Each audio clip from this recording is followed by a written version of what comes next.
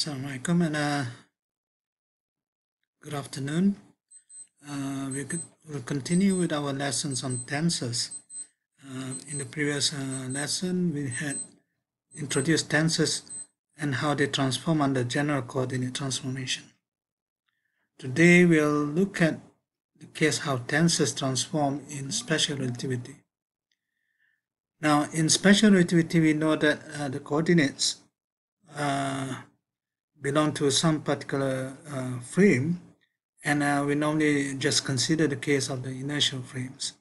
So the inertial frames uh, have their own coordinates and uh, going from one frame to another will involve change of coordinates. So, and uh, we have already mentioned that uh, the case of the Lorentz transformation is essentially a linear transformation between one coordinate system to another. And this essentially preserve straight lines.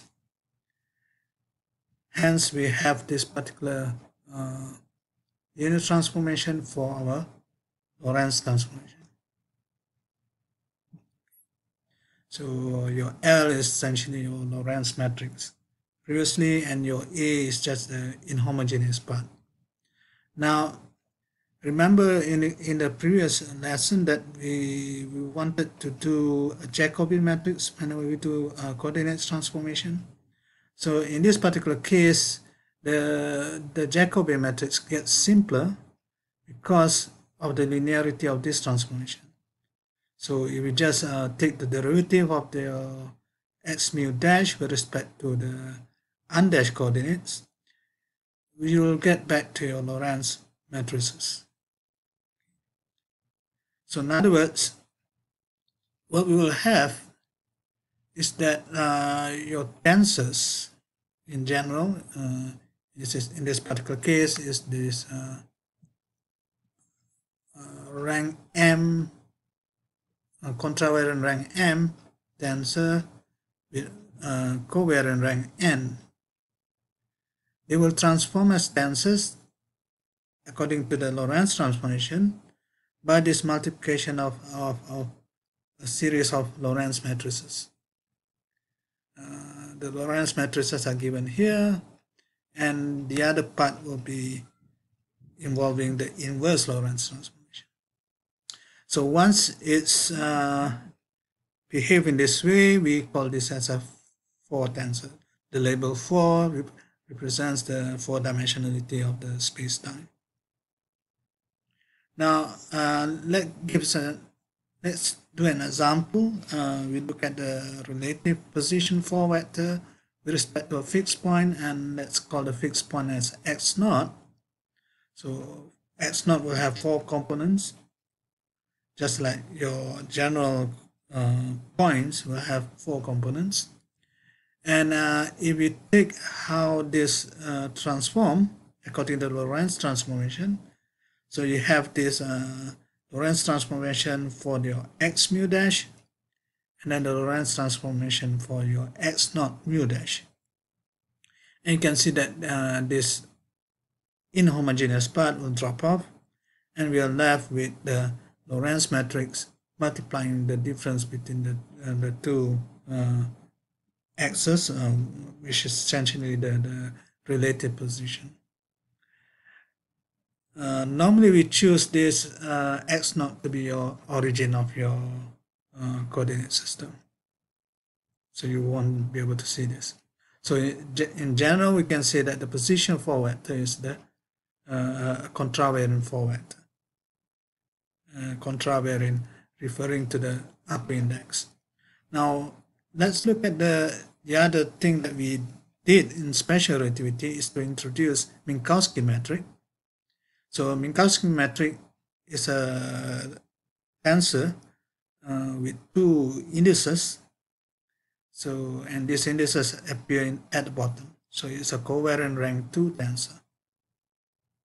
And we shall show this that they uh, transform as a 4 tensor according to the Lorentz transform.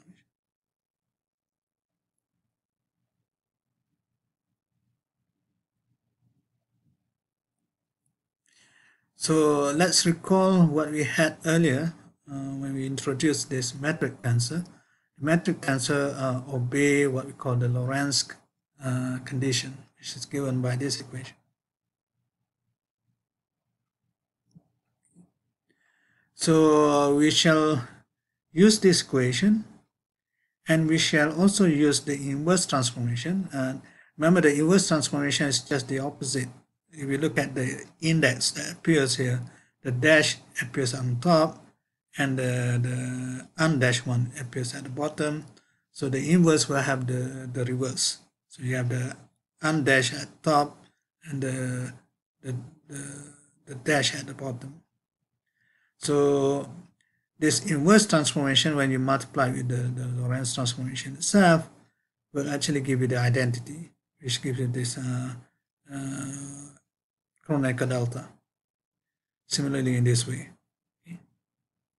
Now we shall use this inverse transformation okay, and multiply this on the left hand side in such a way that uh, when it gets contracted with these two Lorentz matrices on the right hand side, they form the identity. And what happens is after that, uh, you can make the contraction with the Kronecker delta and you'll find that, okay, you'll get your Minkowski metric in the dash coordinates. So in other words, if we, if we look at this part of the equation, mass equals to that part of the equation, which is essentially saying that, okay, this is your metric tensor in the dash coordinate and they transform to the undashed coordinates in this following manner, which is essentially the four tensor transformation law. Now, in general, this will not work because uh, here what we had was just the linear uh, transformation of the Lorentz transformation. So uh, let's move on and uh, we introduce another object. Remember the metric is actually a covariant rank 2 tensor. Now we will try to, to think of uh, another object which is the inverse of this covariant rank 2 tensor. So in other words, uh, it will be something uh, like this. When it gets multiplied with your metric tensor, it should give you the identity. So in other words, this is what we call uh, an inverse metric. Okay. So, and if you look at this, and you'll find that your indices are actually on top. So, uh, the thing that we are saying now is essentially that this inverse metric is a contravariant tensor of rank 2.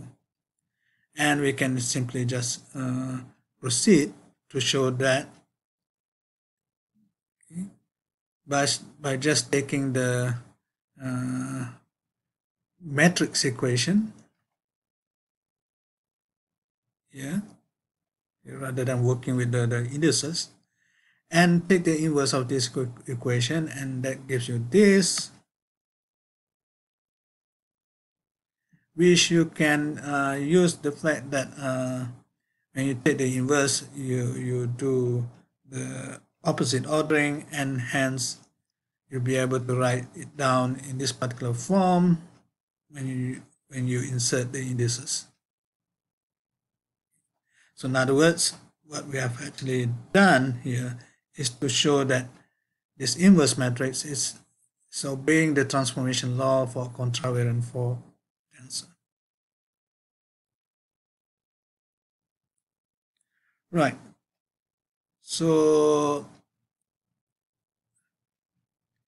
now as matrices, uh, you have seen earlier that uh, your metric tensor, the Minkowski metric tensor, uh, is just a, a diagonal matrix uh, 1, 1, 1 minus 1. Okay, remember that this is actually referring to the fourth component, the time component. Well, uh, if we just simply uh, deduce from, from the previous equation, you'll find that inverse metric is just the same thing. So when you multiply these two matrices together, you essentially get your identity. Now, let's think of uh, something else. Uh, remember that uh, the inverse, the sorry, the metric. Uh, in the past, we have actually uh, said it as a, an object that gives you the four-dimensional interval squared. So we want to be able to see how uh, what are the other uh, what you call operations that can get from uh, the metric tensor as well as the inverse metric. One of the things that we can actually show or propose is essentially uh, to write down this uh, what you call equation over here. And notice that in this part of this equation, uh, the free index is just your mu on top, and the dummy index is contracted over to your 4 vector A, the covariant 4 vector A.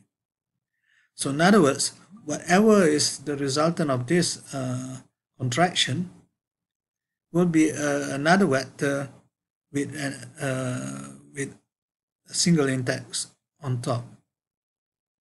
And this is what we call the contravariant 4 vector corresponding to the covariant 4 vector. So in other words, uh, what the inverse metric does is actually to raise the index of the covariant 4 vector.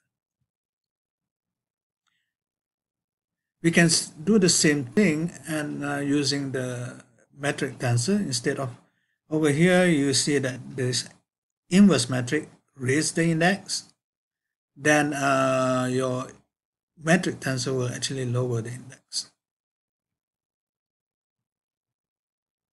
So in other words, what we have actually done is to be able to, to form duals of vectors, either from a covariant vector to give you a contravariant vector or contravariant vector to a covariant vector.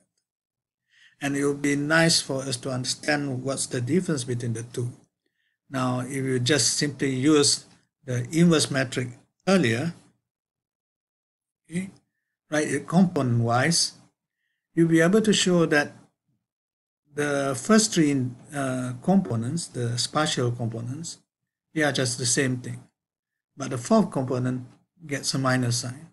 Now, this is in contrast with the Euclidean geometry that we had earlier.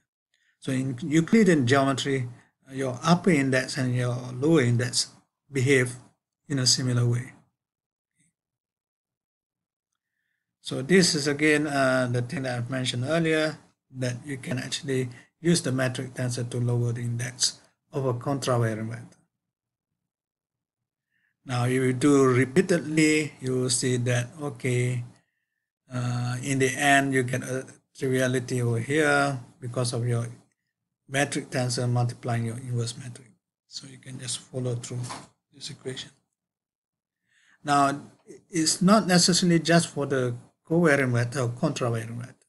You can do this index lowering or raising operations to any tensor. So here's an example. You have, uh, in this case, is a uh, contravariant rank 1 tensor. Uh, it's a covariant rank 2 and contravariant rank 1 tensor. It gets transformed to uh, uh,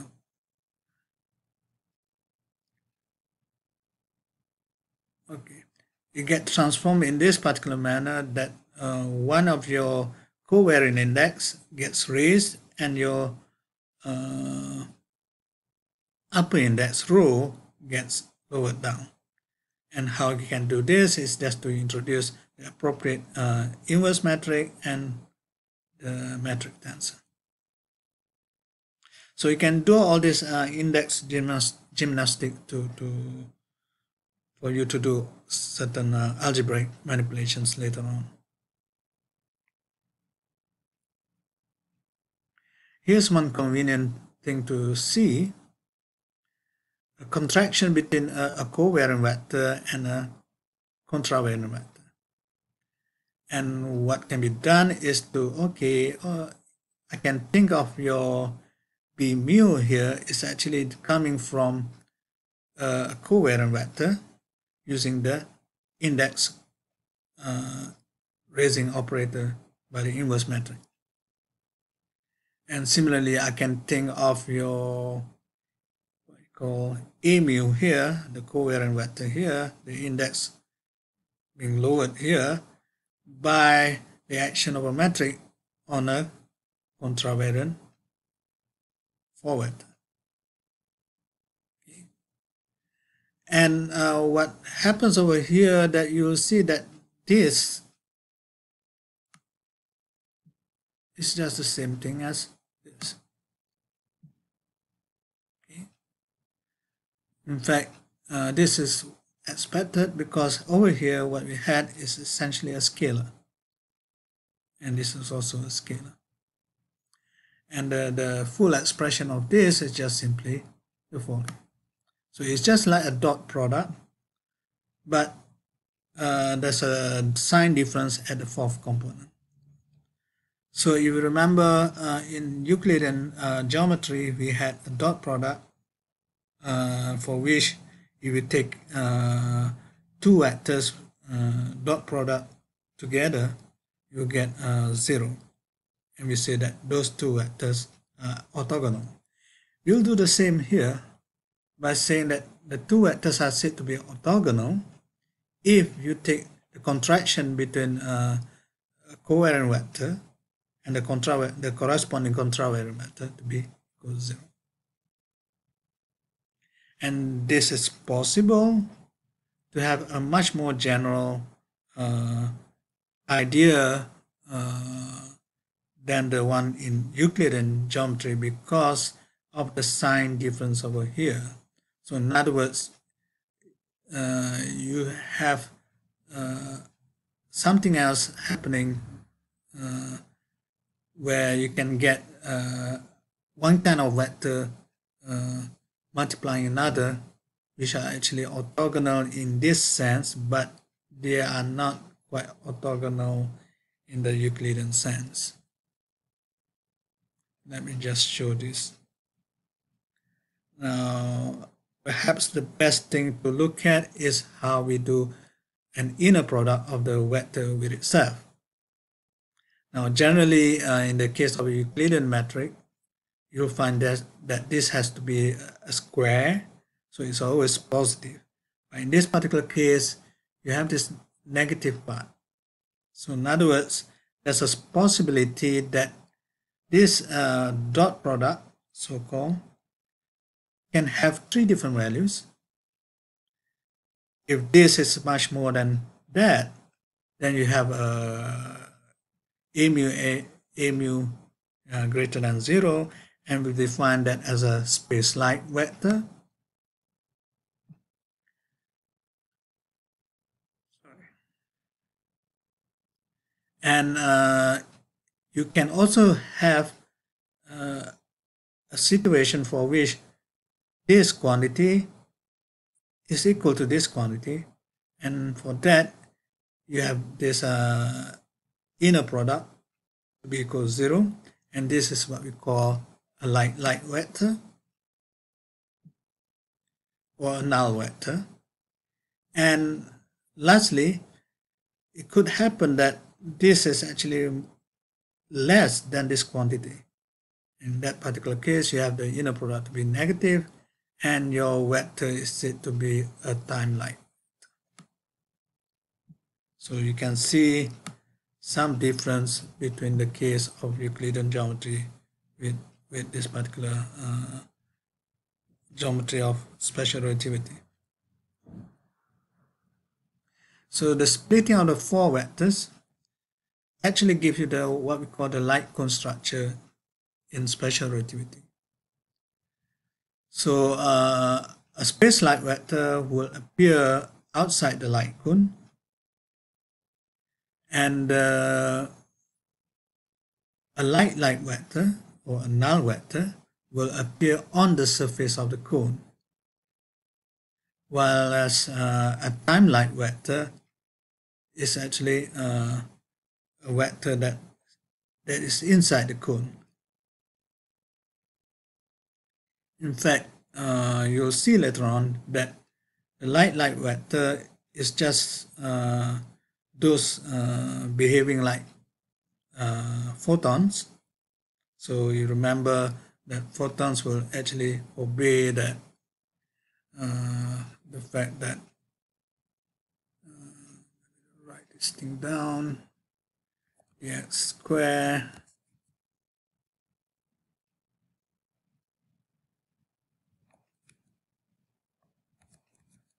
plus dy square plus dz square equals c square t square. And this is always true. And this is always true for light. So when you put down uh, this into your four-dimensional interval square, you get a zero. So probably I better write this down. So you can see that, okay, your ds, put this away.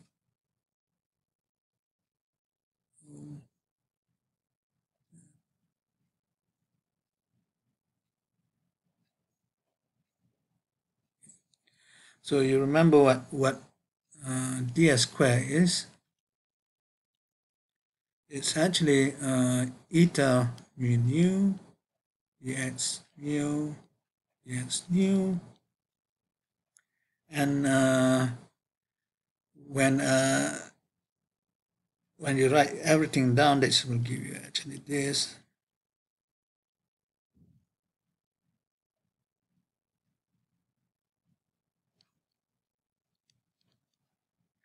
And uh, for the case of uh, photon you'll find that this is actually equals to zero.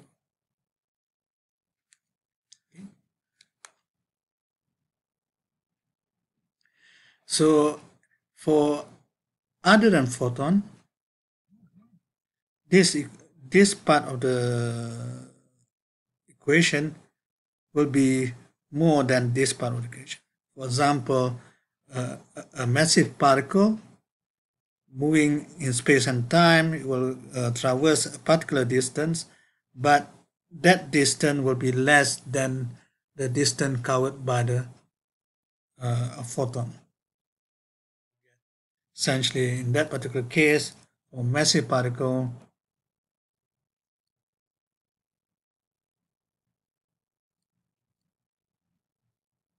your ds squared is essentially less than zero. Which uh, connects back to the thing that we had earlier. Uh, suppose that uh, this is instead of a mu you have x mu which is the position vector. Then the position vector of massive particle will be a time-like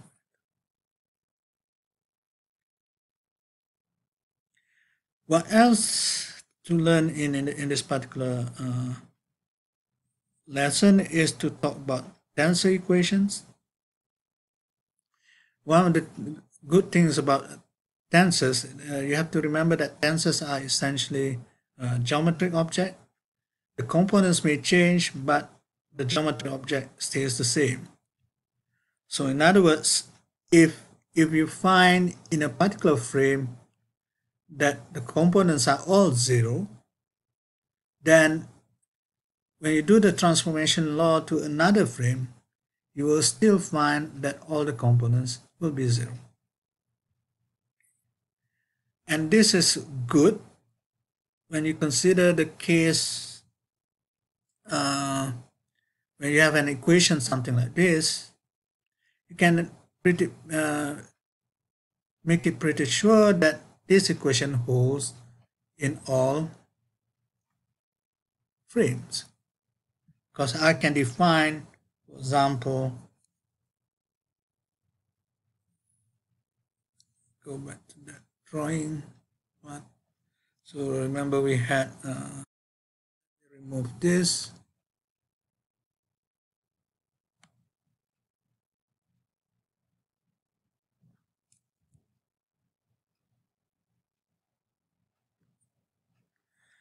so this so remember we had something like this t mu mu equals to s mu. So what we can do is to define another uh, tensor say uh, say v uh, mu. nu and that tensor is essentially uh, obtained from t mu nu minus s mu nu. Now if this is actually zero because of this equation in one particular frame then you will find that in other frames as well that this is going to be zero in other words that means t mu dash nu dash equals to s mu dash mu dash in other frames. Okay, so that's one of the uh, good things to, to write down these tensor equations. This is what I said earlier. Okay, and uh, the other things that we probably might want to see is the fact that uh, when you have a second rank tensor, there's a possibility of uh, dividing the tensor into two parts. Uh, if it behaves in, in this manner, then we say it's an, uh, symmetric. If it behaves in this manner, then we say it's uh, antisymmetric. But you can also have a general tensor, say T down here t mu nu can be written as the following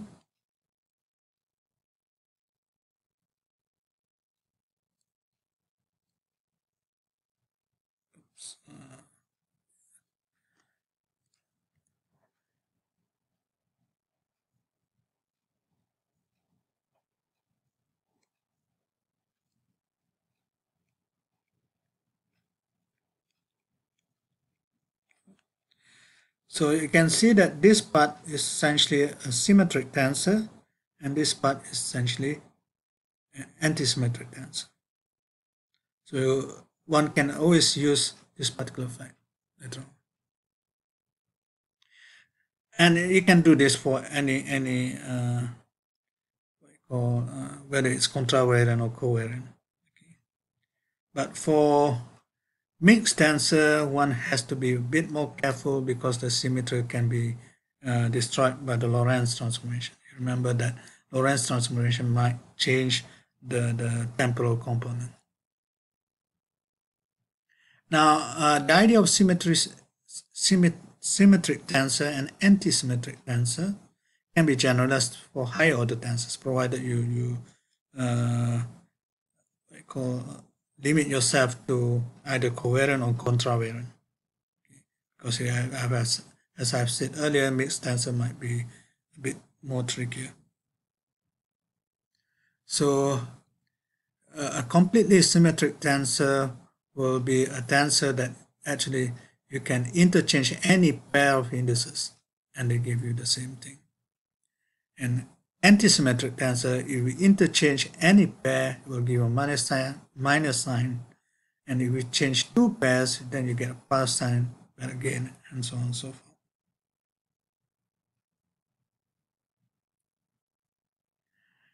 There's a, a notation that people use uh, that one can actually symmetrize uh, rank n tensor by uh, doing this uh, so you, start doing all all permutations of your your your your indices over here. So remember that initially is the original uh, ordering is mu1 until mu n but you can permute the 1 and n here to other numbers. And you sum over all this permutation and divide this by the number of permutation that's available, which is n factorial, then uh, essentially we symmetrize this tensor. And the notation for a symmetrized tensor is a bracket. In a similar way, you can do anti-symmetrization, a completely anti-symmetrization. The difference here, when you do the permutation, you need to make sure when it's a even permutation, you get a plus sign. When you have uh, odd permutation, you get a minus sign. And a completely anti-symmetrized tensor will have this notation with a square bracket. So this is a commonly uh, used notation in special relativity and also general relativity. Finally, let's go to what we know as an alternating tensor. In the past, we had the Levi-Civita tensor in Euclidean geometry. So we define the same thing. Instead of ijk running from 1 to 3, now we have uh, the Greek indices mu, nu, rho, sigma uh, running from 1, 2, 3, and 4, okay, including the temporal component. So if it's uh, even permutation, we can define this as plus 1 and odd permutation minus 1 and 0 otherwise.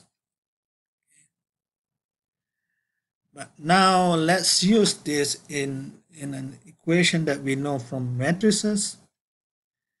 Okay, uh, when you combine with matrices over here, so in this case, will be the Lorentz matrices what we'll get essentially uh, this will be changed to a new basis. Okay so this will be the new in, in terms of the new basis multiplied by the determinant of the, the Lorentz transformation. So in other words this new alternating tensor that we have introduced under proper Lorentz transformation, when uh, determinant of the Lorentz matrix is plus 1, then your alternating tensor transform like tensor. Otherwise, when you include reflection as for example, you allow negative determinant, then it will become what we call a pseudo tensor.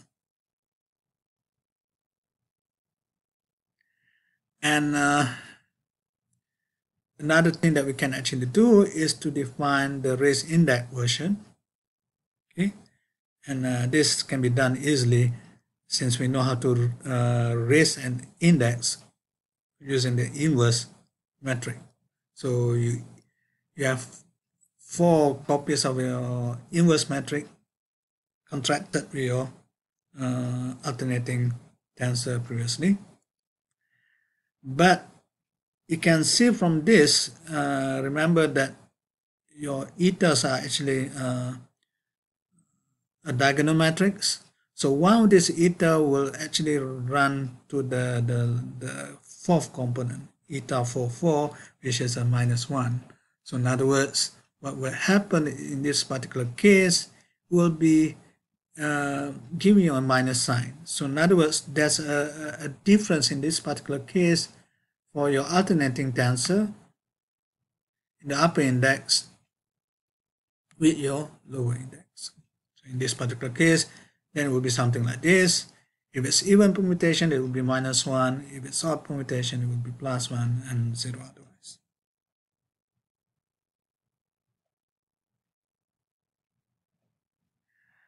Finally, I want to give an example of uh, antisymmetric tensor that we probably use later on, which is essentially uh, uh, related to electrodynamics. If you remember in uh, electrodynamics, your magnetic field and electric uh, sorry about that, your electric field and magnetic field is actually interrelated. So if you give uh, a, motion to an, a, a, magnetic field, then you can actually introduce current, for example. Okay, so over here, both electric and magnetic fields can be combined into a, a second rank tensor in this following way. We will use this much later on. And you can see that this uh, tensor is actually uh, antisymmetric tensor, or in this case, it's a, uh, a skew symmetric matrix. Now you can see that, okay, if we look at, uh, if we look at this column, for example, okay, this is the fourth column, but first row, second row, third row, that correspond to your electric field. So in this particular case, your electric field is given by these components. But for your magnetic field, it's a bit more complicated because uh, it goes into this upper triangle thing or lower triangle thing. But you still see a pattern to this. So the first component of your magnetic field comes from F to 3. Your second one it comes from 3, 1. And third one from 1, 2. You can see this index 1, 2, 3, 2, 3, 1, 3, 1, 2 are just cyclic permutation. And you can check for yourself that looking at this particular uh, what you call pattern, then you can actually write your magnetic field as uh, the alternating tensor, the spatial part, uh, multiplying the field, uh, the field strength tensor that we have just introduced. We can also introduce the idea of dual. Okay, so what's the idea of dual? Is to multiply the uh, okay first first and foremost you can raise this index of your F mu nu become that and the, du the dual is essentially just a contraction of the race index with the alternating tensor. So this object is essentially the dual of the previous object earlier. The difference here is just this uh, asterisk. Now, what's the use of this? You'll be able to, to just uh, look at look at all the components and you'll find that okay uh, in this particular case uh, your F12 star will be related to your F43 and remember that F43 or F3 minus F34 is central electric field F12 is somewhere uh, in in the uh, what you call triangular uh,